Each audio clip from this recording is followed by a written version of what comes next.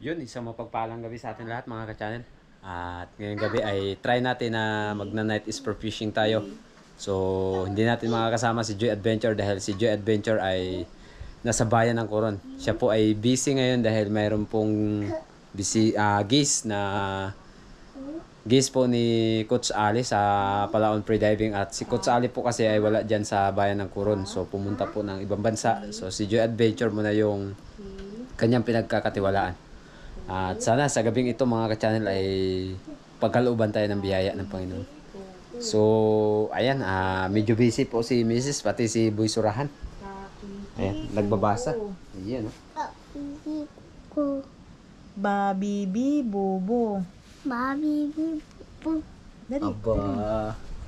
Ah, si Boy Surahan po kasi ay dito po kasi sa amin na natutulog. So, kami po yung nag-aalaga sa kanya. Ako.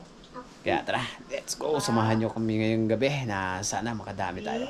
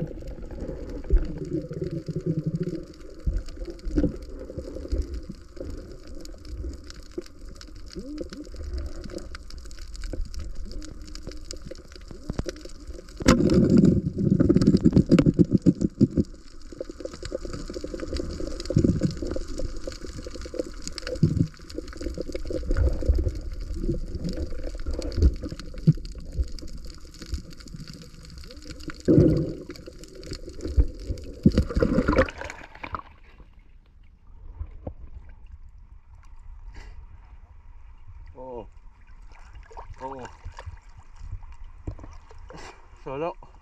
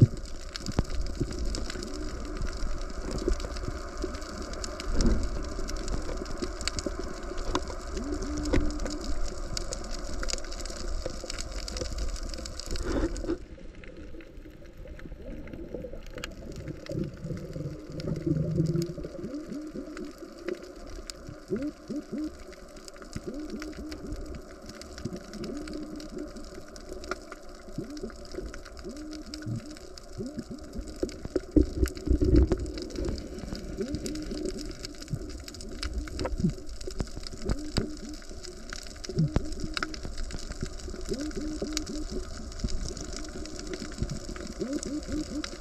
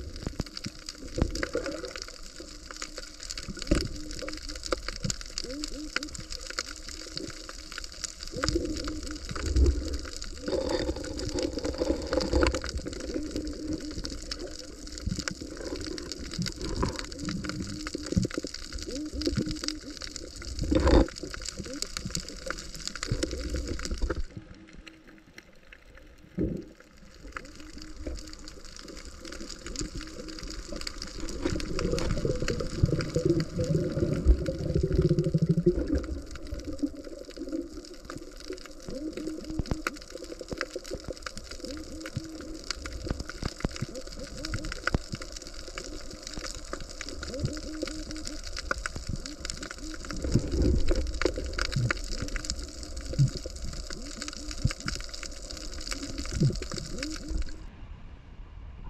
nakaahon na tayo. At medyo malayo pa yung lalakarin natin. Pauwi ng bahay. Ah, kasabay ko nga pala ngayon. Yan, tagay kulot. Ang dami. Aba. Aba. Ang daming pusit ah. Ilang piraso pusit mo? Ilang piraso? Ito yung kuha natin ngayong gabi. Ah, isang cuttlefish, pusit, dalaw, ata, apat. Yung dalawa ah, pinahalo natin doon kila Tangay Kulot. Tapos isang lapo. Ah, di kasi makakain si Mrs. ng pusit. Yan, tatlong kanuping or bonggok tawag dito sa amin. Yan, matataba yan mga ka-channel. So magsasabaw si Mrs. ngayong gabi. Ah, abangan nyo.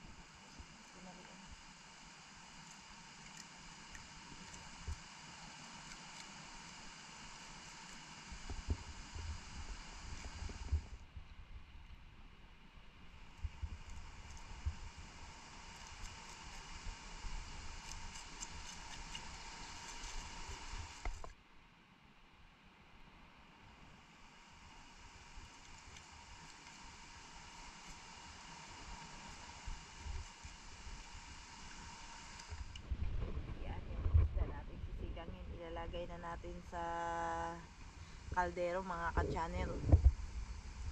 Dahil kumukulo na yung tubig nating inano. Yeah. Pinaka-init na tubig, kumukulo na. Ilalagay na natin. Sinigang na isda.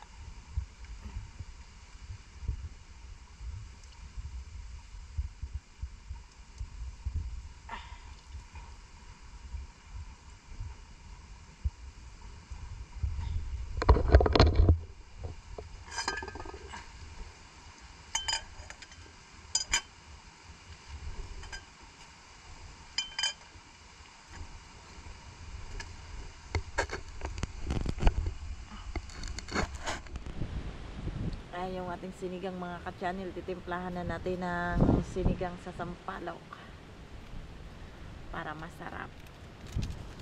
At lalagyan natin siya ng konting asin. Dahil yung isda may asin na ito ka-channel. Nasinan ko na to kanina.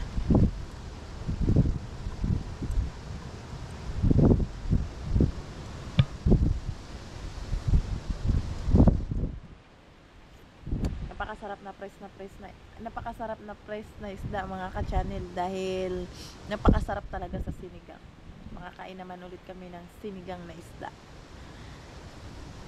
yan malapit na siyang maluto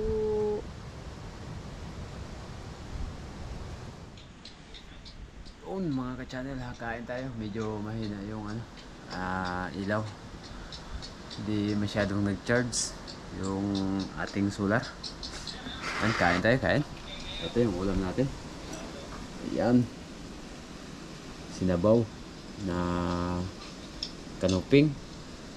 At yan, pusit. Okay. Ready, ready, ready. Kaon ta ni. Pinobre. Pinobre lang ang kasama natin magkain. gandang gabi po mga ka-channel kain po tayo Yan. madilim po kami mahina yung ilaw Yung alaga ni Mrs. tulog na. Kain. Hmm. Kaon ta ni. Ah, wow, kalami. Ah, kalami sa sabaw eh.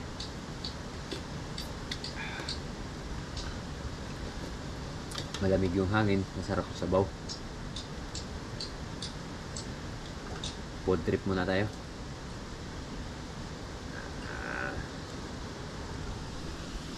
Grabe ang taba. Makunat yung balat.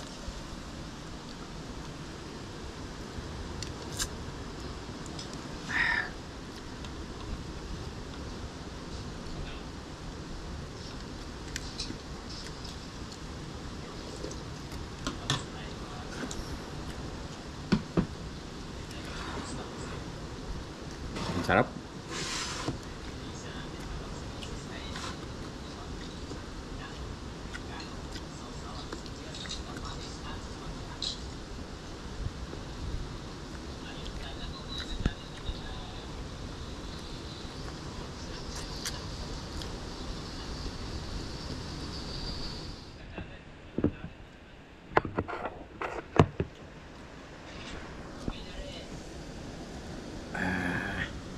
Pusit.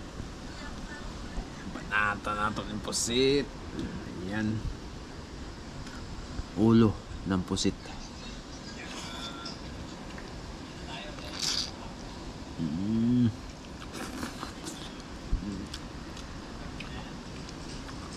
Grabe, sarap. Mm.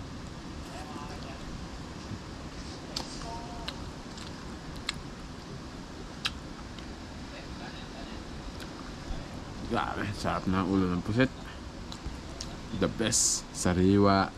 Tapos mainit sabaw. Lamig kayo.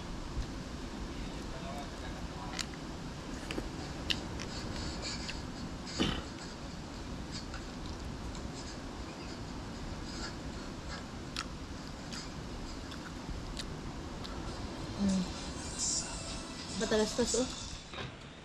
Yun, tapos na tayo kumain mga ka-channel. Salamat ng marami at nabusog tayo. So, medyo may kalaliman na yung gabi. Anong oras na ba? Alas 11.57. Nako. Mag alas 12 na pala. Ah. So, yan. Ah, maraming maraming salamat sa inyo sa laging panonood at sa hindi po ninyo pag-skip ng ads. At syempre, ah, may shoutout po tayo pero bukas na po ng umaga yung shoutout natin. Hindi natin alam kung anong oras pero at least ah, mag-shoutout tayo. Dahil ang daming nagpa-shoutout doon sa in-upload nating ranga-ranga. Kaya God bless mga ka-channel. Ayun, good morning po sa atin lahat mga ka-channel. Eto, umaga ha. sana ay nasa mabuti po kayong kalagayan lahat. So, shout out po kay Ma'am Glinda Banstru.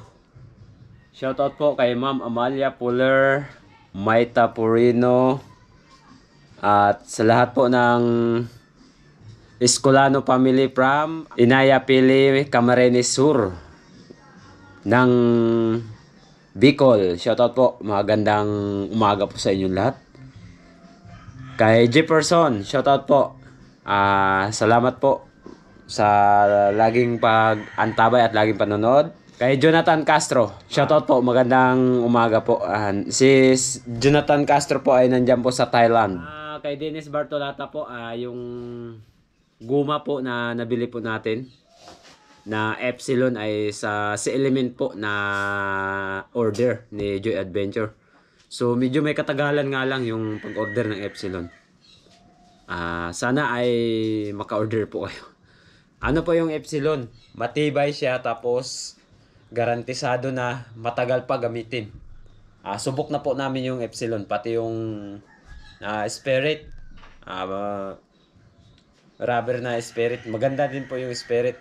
So di gaya ng life spare na ang life spare, life spare po kasi na rubber ay nasa mga 3 months lang o 2 months gamit. Pero ayos naman.